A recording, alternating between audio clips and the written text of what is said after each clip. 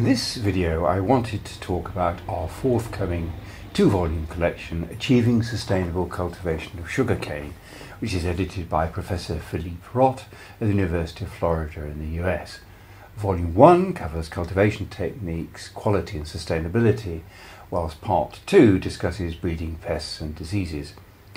Sugarcane is the source of over three quarters of the world's sugar but despite rising demand, yields have not increased significantly, partly due to the impact of pests and uh, diseases.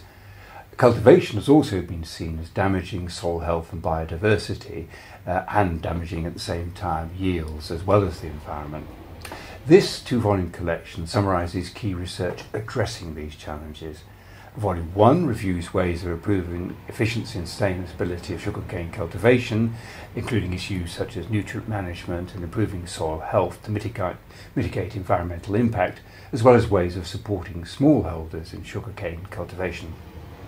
Volume 2 looks at improvements in breeding and advances in understanding bacterial, viral, and fungal diseases, as well as insect pests, and how this knowledge informs integrated pest and disease management. I'd like to round off this video by quoting Dr. Paul Moore of the Hawaii Agricultural Research Center in the, in the US and a noted expert in sugarcane cultivation. And he said, although there have been a number of books published on sugarcane production, none are current enough to capture more recent scientific results, and none address the problems of achieving sustainability of sugarcane production.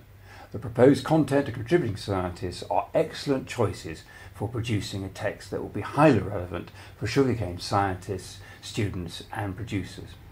With these rather sweet comments in mind, please do visit our website www.bdspublishing.com for more details on this and our other titles.